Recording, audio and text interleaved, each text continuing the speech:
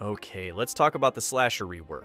I know we've been expecting the Pursuit rework to come out, but since we haven't gotten any teasers, I kind of had a feeling it wouldn't be happening just yet. Anyway, on to the slasher rework. If you watch the entire trailer, you can see the new slasher model and the slashing animation. One thing I also noticed is that they might have removed the ability to throw knives. The current slasher, which is the old version, has throwable knives that can pierce through enemies. However, in the trailer, we don't see any knife being thrown, but then again, it's just a trailer. Of course, they're not going to reveal all the changes to the tower, it would ruin the hype.